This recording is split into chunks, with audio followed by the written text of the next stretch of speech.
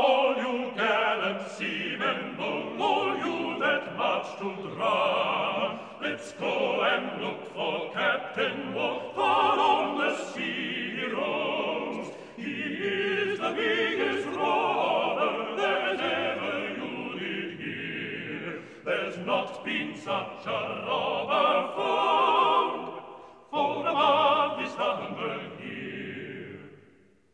A ship was sailing from the east and going to the west, with silks and satins